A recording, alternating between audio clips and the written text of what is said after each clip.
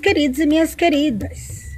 Hoje, dando continuidade aqui, é, em mostrar para vocês as minhas suculentas pendentes, eu gostaria de estar agradecendo a quem assistiu aí o primeiro vídeo. Beijo no seu coração, todos vocês que assistiram o primeiro vídeo aí, tá? Onde eu passei com o burrito, onde eu passei com a rosinha do sol, que por sinal tá até aberta nessa, nessa manhã aqui. Que linda! e onde eu andei passando aqui geral. Passei com o Cedum Brasil, né? Mostrando para vocês a identificação dele. No segundo vídeo, eu andei passando aqui nas minhas tradescantias, né, pessoal? Quem me viu aí, ó, as tradescantias. E andei passando aí nos meus colares, alguns, né, dos colares, não mostrei todos. E aí vamos para o terceiro vídeo, porque, bom, para que tenha um, maior número de pessoas que assistam, eu resolvi cortar, dividir o vídeo. O importante é você assistir. Deixa um like aí para ajudar o canal, se inscreva se não é inscrito, tá? A gente aqui só mostra planta e de vez em quando as travessuras do Thanos aqui, né? Né, Thanos? Hoje mesmo ele tá aqui, ó, de manhã, com preguiça chamando para brincar, ninguém dá atenção, meio estressado porque tem uma, cadelinha no cio aí na rua. E ele quer ir lá, né? Pode não, Thanos. Lá já tem muitos cachorros. A cachorra é pouca coisa maior que ele, que tá lá na rua. Mas tem cachorro de dois metros atrás dela. e tem cachorrinho tipo piche. Aí não, não pode não. Tadinho do meu Thanos, né? Eles vão querer judiar dele lá. Né, bebê? Pode se não, mamãe. Pode se não. Gente, olha que menino, levado. É, gente, eu tenho que mandar beijos. É, antes de acabar o vídeo, eu vou mandar beijos, tá bom? Eu esqueci de anotar aqui. Vou ali correndo e anoto, tá? Eu tenho que mandar beijo para o pessoal lá de Manaus, que eu vi ontem os comentários. Muito obrigada, viu, meus amores? Que Deus abençoe vocês de todo o coração, tá? Beijos para você, Ariadne, lá de Manaus, tá? Ariadne. Ela pediu para mandar beijo para ela. Um beijão, minha linda, que Deus continue abençoando. Mas para todos aí do Amazonas que me seguem, que assistem aí meu canal, que Deus continue abençoando a vida de cada um, tá? E é isso. Pessoal, eu não vou poder mostrar, como eu disse, todas as minhas suculentas pendentes, que são muitas, tá? E aí a gente vai passar em todas de qualquer forma. E é isso, então vamos começar aqui com esse vaso que eu já deixei aqui na cadeira porque ele tava no alto. Gente, perdoa aí a claridade porque esse horário é assim. É essa daqui, é a Columeia Peixinho, que tá com, essas, com esse brilho maravilhoso na folha. Né, eu ganhei de presente da minha amiga Tainá. Beijos, Tainá, que Deus abençoe sua vida. Tainá veio aqui, ela mora em Prudente Moraes, cidade colada aqui a minha. E ela trouxe para mim, a gente fez troquinhas na época, e ela trouxe algumas plantas. Dentre elas veio essa que eu não tinha, que para mim foi maravilhoso presente. Desenvolveu muito bem. Ela ela agora tá começando a ir mesmo com força, porque eu tô acertando no cultivo, como vocês sabem. Isso aqui é uma colinha, tá? Como vocês sabem, cultivo de planta, a gente, a gente não é obrigado a acertar. A gente tem que tentar até aprender. Muitas vezes as pessoas acham que você é obrigada a saber. Você não é obrigada a nada. Nada. Você está se esforçando para chegar lá, não é isso? Então tá. Só mesmo. O, nem os biólogos sabem tudo, que dirá nós, né? Nem os botânicos, nada disso. Mestres e doutores em botânica estão estudando. E quem dirá eu, que sou uma reles mortal. então pronto. Aí eu tenho essa columéia peixinho aqui, eu tenho três galhas, né? Uma foi para lá. E estão todas com brotinhos aqui, ó, desenvolvendo. Tem esse, ela floriu, chegou aqui florida. E ela floriu no ano seguinte, no mês, no mês seguinte, que ela ainda tinha flores. E agora que ela passou por esse período de readaptação e está começando, né, a se desenvolver. Olha que brilho que tem essa folha. Então, ela está nesse vaso grande, nessa cuia grande aqui, e junto com o meu Sedum Maquinói, que tá um nome ali porque eu peguei uma identificação errada, mas eu vou trocar, tá? Até tirar daqui para mim não esquecer, porque senão o Thanos come. Ele come as placas tudo. Ah, aprendi uma solução aqui é, provisória, né? Para as plaquinhas não apagarem, eu passo durex, tá? Olha, eu encapei elas com durex, assim elas duram mais, tá bom? E para quem não sabe o nome científico da colmeia peixinho é Nematanthus. Ah, agora a segunda parte, meu filho. Só chutando. Whitstein. Será que eu falei certo? Nem vou repetir porque vocês já viram, né? E é isso. Nema, Nematanthus whitsteni é o nome científico da Columea peixinho. E aqui também no vaso eu tenho esse esse sedum que é o lineare verde que eu tenho aqui em casa, lineare. Eu não sei se ele tem outro nome não, tá, pessoal? Se alguém aí souber de um outro nome dele, pode deixar aqui. Aceito também. Porque eu não sou obrigada a saber tudo, né? né? E aqui é o tem esse sedum verde que ele tava morrendo, eu peguei joguei ele aqui, ele está se desenvolvendo. E depois a gente vai ter que sair dividindo a cuia por aí, né? Quem crescer mais fica dono da cuia. é, meu filho, em casa é assim que funciona. Quem crescer mais, destacar mais, fica com a cuia. O outro sai para dar lugar, né? Pessoal, aqui eu tenho meu sedum linear e variegata. Ele é, é mais difícil, como todos variegadas, ele dá um pouco de trabalho. Então eu quase perdi, né? Não sei se o sol aqui tá focando. Eu quase perdi ele todo. Tem um matinho aqui, tirar. Aí ele fica nessa cuinha que tava ali é, debaixo, que ele não pode nada, nada, nada com sol. Que ele é um, um sedunzinho, né? Deixa eu ver se eu posto ele aqui na sombra pra vocês verem. Olha, ele é um sedunzinho muito lindo, mas tem esse problema. Ele é de difícil cultivo. Não vou enganar vocês, não. Eu chio para dar conta dele. Ele gosta de umidade, né? Mas muita umidade também ele não gosta porque ele derrete, como todo sedum, né? Aí, como eu tenho mania de fazer truques, eu saio colocando em tudo que é vasinho, um, po um pouquinho dele. Que eu vi, aqui ó, tá até solto, bom que eu vi agora. Você coloca no lugar e não foi, opa, olha. Já tira e põe em outro que ali ele, se ele gostar, ele vai proliferar e vai aumentar de tamanho. Mas esses sedunzinhos, eu confesso para vocês, eu tenho tido muita dificuldade. Aqui no meio sedum maquinói, que eu também não sabia lidar, perdi tudo. Se eu falar com vocês que eu perdi, vocês acreditam? A Betina teve o trabalho de me mandar, né, Betina? Ela mandou várias plantas para mim, tá, gente? Aí ele morreu, eu perdi todo. Todo, todo, todo. Não ficou nada. Aí vocês não vão acreditar um belo dia, fuçando aqui no meu jardim, eu achei uma folhinha. Essa folhinha aqui, ó. Tá vendo? Tá até amarela. É, então, aí eu achei uma folhinha. E a partir daquela folhinha, no caso não é essa, que eu tô falando que é tipo essa. Daquela folhinha, é, eu finquei ela e ela já tava com brotinho, né? Eu finquei não, ela caiu lá esquecidamente e rebrotou e rendeu tudo isso aqui, ó, que vocês estão vendo. Que pode ser pouco, mas para mim é muito.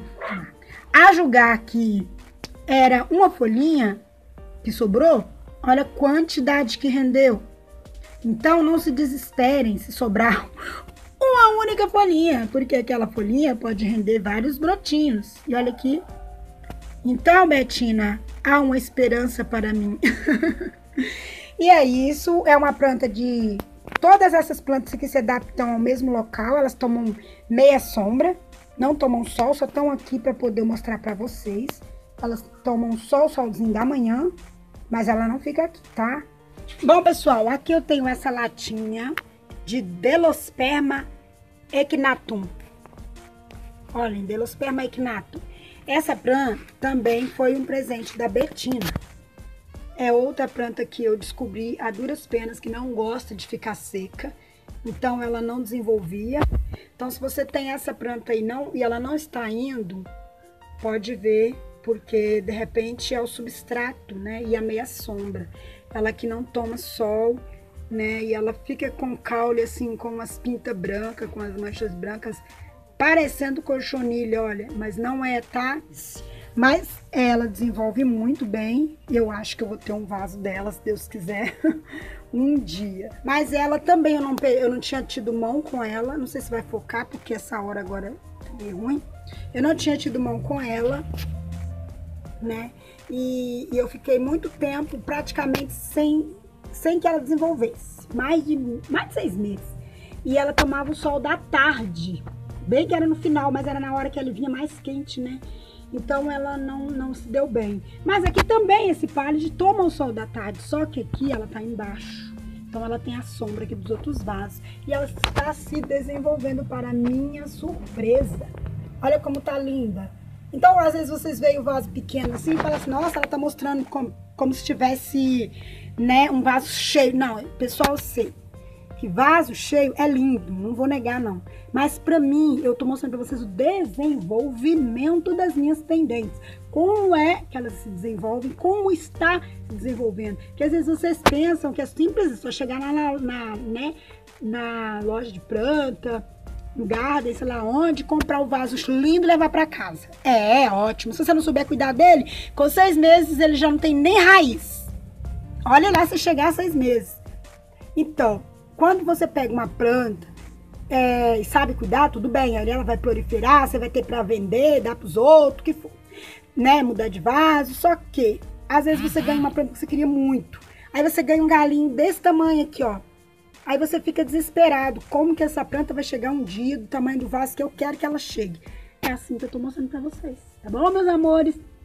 É de onde eu comecei. Às vezes vocês pensam que às vezes vem um vaso cheio como esse aqui, ó como esse colar aqui, é, que eu vou chegar nele daqui a pouco, colar de princesa. Daí vocês pensam, ah, ela já, já pegou grande, assim, já pegou ele assim maravilhoso, não, tá? Aqui em casa a maioria das minhas plantas começam de 1%. A maioria. 90% das minhas plantas, vocês veem, todas começaram desse tamanhozinho aqui, ó. Todas. Então não se desesperem, tá? Eu ganhei mudinhas das minhas amigas. É, mudinhas assim, olha, desse tamanhozinho. Um dedo, dois dedos, uma galinha pequenininha assim. E se desenvolvem. Por quê? A gente tem que saber. Vai tentando, põe no lugar, não deu certo, muda de lugar. Às vezes o substrato tá seco, né? Aí você quer que aquela planta vá para frente. Se ela gosta do substrato seco, ela vai dizer para você que ela gostou e tá indo.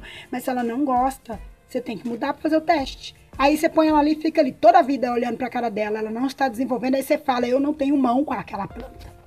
Realmente, mas vai, faz todos os testes. Você fez, pôs água e ela não se deu bem. Pôs no sol e ela esturricou, queimou. Pôs na sombra, ela se desenvolveu ou não. Então você vai saber.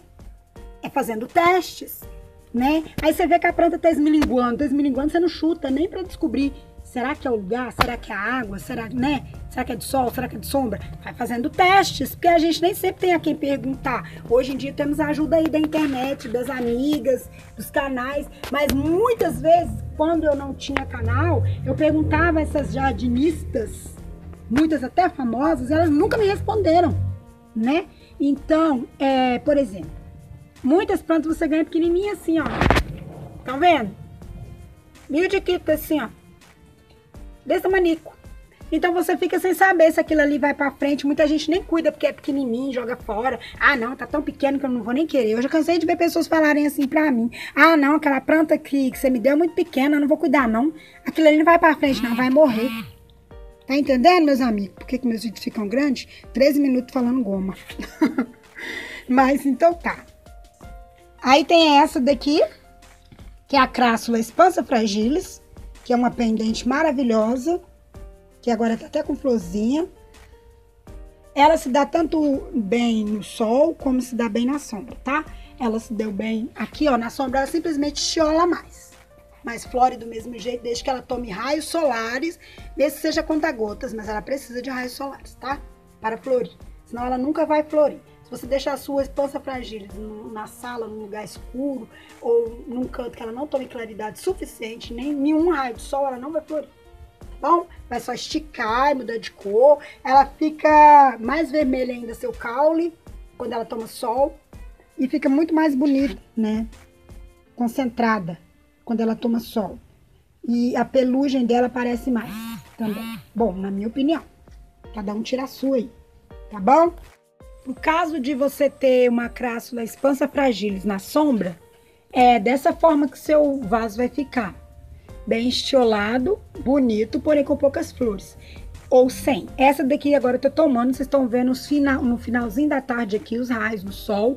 Eu estou gravando no finalzinho da tarde, filtrado pelo sombrite, e por isso tem uns botõezinhos aqui.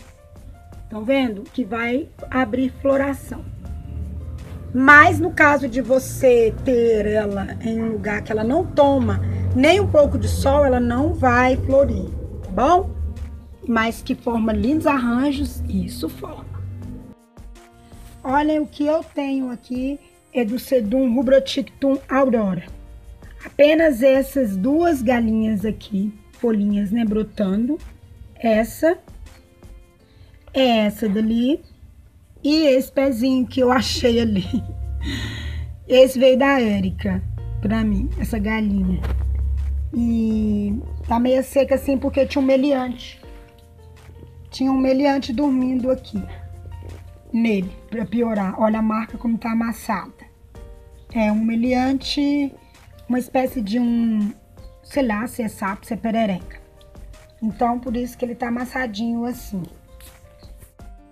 Bom, meus queridos, eu não podia esquecer, né? O meu principal sedum, aquele que eu mais gosto, a pendente que eu mais amo de todas as minhas. Ela é perigosa, ela é tóxica, mas é linda. Todo mundo que me conhece, me segue, já sabe que é o, o sedum rubrotictum. É, eu só tenho uma variedade, né, que é essa daqui. Eu tenho outro vaso, tem essa chaleira linda, decorada, que fica pendurada no meu sombrite aqui. Agora é fim de tarde já, né? Dei um tempo no vídeo. Também já tô gravando há uma semana, né? Como eu disse, tem uma semana que eu estou gravando, pessoal. É, vocês acham que é fácil? Então, algumas, algumas aqui estão repetidas. Eu corto, eu aumento, eu tiro, né, Thanos? Thanos tá aí sabendo como é que a gente... Ele tá até cansado. Mas então, pessoal, esse Sedum é o meu carro-chefe aqui de casa.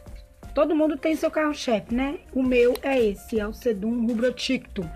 Algumas pessoas chamam de Rubrotictum. Bom, não importa onde que fica a sílaba tônica. O que importa é que ele é maravilhoso nessa coloração rubra, o que dá o nome para esse sedum, porque ele fica rubro, ele fica coradinho, tanto no sol quanto assim nos dois extremos. Se você deixa ele no frio, ele fica, né, ele é um pendente, tá? Para quem não sabe aí, ele é um pendente. Então ele encaixa perfeitamente na suculenta pendente, porque ele vai entortando aqui para baixo. Essas, essas raízes aéreas aqui não são aéreas, porque ele não tem raiz aérea. Essas raízes aqui estão meio, é porque ele é um sedum rasteiro. Se você colocar ele no chão ou no local que ele possa andar, ele vai se multiplicar, tá bom? é, quase todos ou todos os seduns, de onde eu sei, eles são rasteiros. E o sedum rubroticton, sai daqui que ele é perigoso, é veneno para você. Não pode, tá? Ele é muito venenoso, pessoal. Ele parece que não é, mas é, tá? Então é isso. E, e é o seguinte, a, qualquer pétalazinha, bolinha dessa que cair, ele recomeça a brotar novamente, viu? Então ele é de muito fácil multiplicação e por ser de muito fácil multiplicação, eu tenho em vários lugares aqui em casa. Esse é um vaso pendente, um vaso de cuia, né? Olhem, muito lindo, maravilhoso. Infelizmente, meu Aurora ainda tá bem novinho, falta ainda de uns 10 anos para chegar no nível desse daqui, mas eu tenho fé que ele chega lá. Ai, meu Deus. Aí onde ele cai aqui em casa, é, ele rebrota.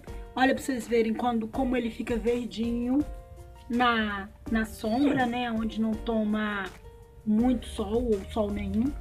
Olha, tenho aqui todos os meus arranjos tem que ter um pouquinho desse sedum. Ele dá um charme todo especial a qualquer arranjo, né? Então é uma planta coringa.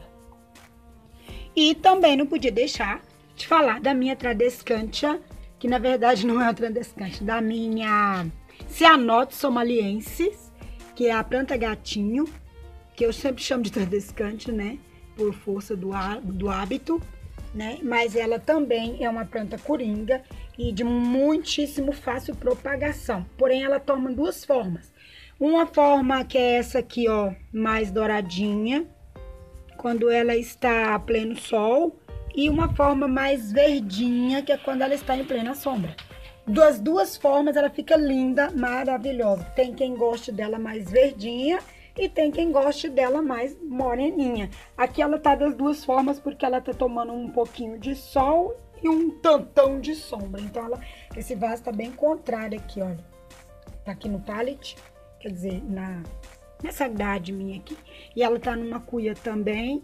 Ela pendeu pro lado de dentro, né? Porque ela parece gostar mais. É, e se propaga e cresce muito mais. Então, ela é uma planta de facílima propagação também. A qualquer lugar que você pegar uma galinha dessa daqui, ó, e quebrar aqui, ó. Olha, em qualquer lugar que você quebrar aqui, pode tirar com raiz ou sem raiz. E onde você colocar, ela vai se desenvolver muito fácil. Então, ela é tanto de sol quanto de sombra, como o rubroticto. Ela se desenvolve tanto em sol quanto em sombra. Bom, pessoal, eu também tenho aqui, bagunçadamente, não sei se posso considerar que, que tá bonito, porque tá muito bagunçado, a minha portulaca, que não deixa de ser uma suculenta pendente. É, estou no período de remanejamento delas, porque agora é, elas aqui em casa, elas estavam é, em dormência, aqui em casa, tá? Porque às vezes vocês verem alguma florida aí e falam assim, ah, mas eu vi 11 horas lindas e as suas estavam feias, realmente. Esse período aqui, é, esse ano teve um inverno um pouco rigoroso aqui, foi poucos tempo, poucos meses, né? Só uns dois meses de frio mesmo, que aqui não é frio, né? Que passa uma frente fria, o que é diferente de lugares que tem frio, né? Que tem inverno. Mas ele foi o suficiente para que ele acabasse aqui em casa. Então agora que está, tá vendo, pelado, comprido assim, porque e também teve uma praguinha que andou no meu jardim, acabando com minhas 11 horas. Então agora eu vou ter 11 horas bonitas se Deus quiser. Olha, eu demorei chegar, as gêmeas fecharam. Estavam abertas. Mas é isso.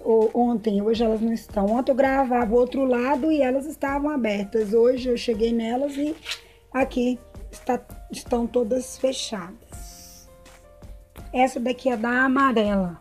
11 horas amarela. Tá dando pra ver aqui, né? Tá fechada. Olha, por sorte, eu achei alguém aberto aqui.